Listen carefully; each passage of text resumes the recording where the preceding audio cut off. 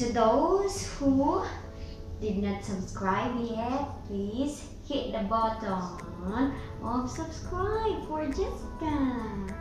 Okay, today guys, we will talk about age age gap. Does it really matter guys kung kung ang kung ang boyfriend mo or girlfriend mo ay medyo mas matanda sa'yo? Oh, how about you, Jessica? Huh? So, this will go like this.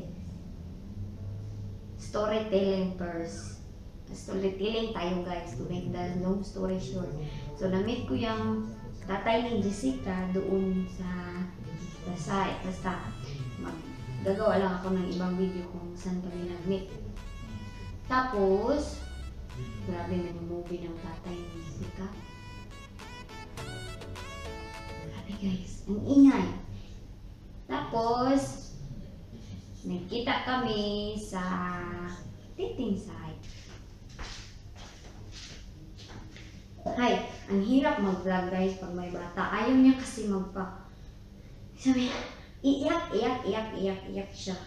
Are you happy now? Huh? Okay, so guys, yun nga, yung topic na age gap. Does it really matter sa inyo kung matanda na yung partner nyo or yung boyfriend nyo or girlfriend? Kasi para sa akin, sa own experience ko lang ha, it doesn't matter talaga guys. Kasi, tignan nyo, mm, may baby girl na kami. May baby. Mm-mm. Her name is Jessica, right? Ang bigat ng anak ko guys. Tapos yun, tapos natapos lang tayo dito. Kasi properly. O yan. Yung storytelling nga guys, yung tatay ng bata na to, na-meet ko sa dating site. Kasi dati may dating site man ako kasi sabi nila para daw ma-enhance yung English ko. Kaya nag-open ako ng dating site. Yun, nagka-boyfriend doon. Nakita ko yung daddy ni Nia. Uy, saan naman na? Nakita ko yung daddy niya sa, sa ano. Tapos nakita ko yung profile niya, guys. Uy, ang gwapo man niya doon, guys. Kasi ang picture niya, guys, di man matanda. Di man din siya matanda. Ngayon, yung edad niya lang, di man siya masyadong halata. Ang age gap namin ng daddy niya is 20 kapin guys.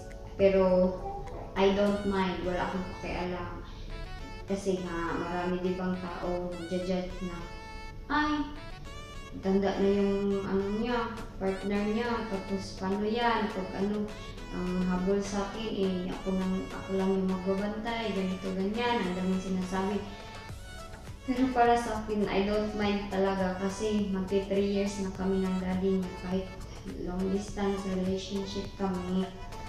Okay man relationship namin. Yun, balik tayo sa story namin guys. So yun, nakita ko yung ano? Nakita ko yung ano ngayon, Jessica? Nakita ko yung profile ng daddy niya doon sa ano sa site. Tapos bin, binisita ko. Tapos sabi ko, hi! Ang gwapo mo naman, ah, flirt ang ate mo. Tapos sabi niya, uy, salamat! Sabi niya gano'n. Sabi ko, alam mo, maganda siguro mo to anak sa'yo. Tapos sabi niya, ang baliw mo talaga, bata ka. Binibigyan mo ako ng heart attack. Sabi ko, ay hindi, joke lang pala yun. Kasi that time, friend pa kami. Meron akong boyfriend doon, doon sa Pinas dati. Tapos yun, nag-chat-chat kami. As a friend lang. Sabi niya, Uy, kumusta ka dyan? Ganito, ganyan. Sabi ko, okay lang. Tapos ilang months, nag break up niya itong ano, guys, kung Pinoy. Bulag niya to guys, bulag. Bulag na. Yung niyang papa nga, naglabdas ako, eh, haba ng hiyate. Saan na yung mga laka, oy, nakalakap ko, basta dili mag-work. Eh. Kuan bata pa lagi daw ko, may di siya gusto nga mag-expect ko. Pero primero jud iyak ko nilangan na. Nang dili ko gusto nga mag-expect ka kay bata pa kayo ka ako kay tigulang na daw siya. Kung okay naman na age doesn't matter if you love the person di mo di mo talaga na ano niyang edad na yan i-matter oh, look at the camera tapos yun nag-meet kami tapos okay man siya mabait-bait niya sweet man siya pag magkasama kami di lang siya showy guys tapos ayaw niya binibidyuhan ko siya kasi private daw private kasi yun private sige private kaya yan kwento na lang ako guys. Tapos yun, di man kami masyadong nag-aaway din. Kasi ayaw ko din mag-aaway kami. First namin kita is once lang. Tapos once lang nag-aaway. Tapos second time, di ba naging jowa ko na siya, nag-meet na kami.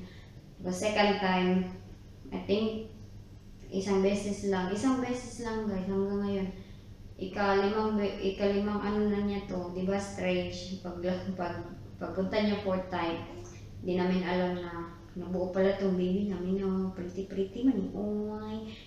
Tapos yun, bumalik siya para makita to bata namin. So, ayun guys. May iba pang nagsasabi na gold digger daw pag foreigner. Kasi yung Philippine, most sa atin, most sa atin, di ba, inaano natin na iniisip ng gold yung ano lang, pera lang yung habol, ganito, ganyan. Para sa akin, no, you cannot judge someone kung pera lang ba ang habol niya or hindi. Kasi if pera lang, di man mag-work yung relationship siguro, no? Or, ewan ko, para sa akin, money is hindi importante as long as na mabait lang yung tao mabait siya, tapos mapa, maalaga, concern sa'yo. Minsan may away, it's normal man na may away, pero di masyadong yung kagaya ng, ng ibang away na grabe talaga ba. Wait guys. Tapos ayun.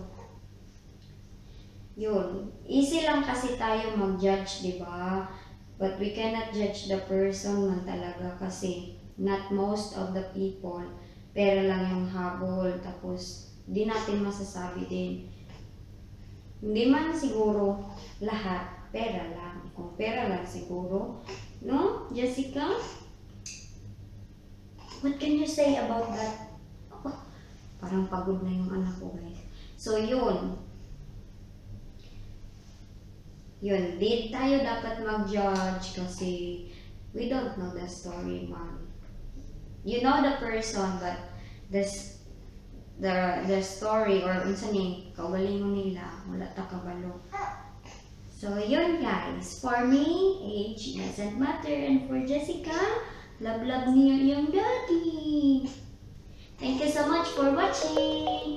If you like the video, please hit the subscribe button.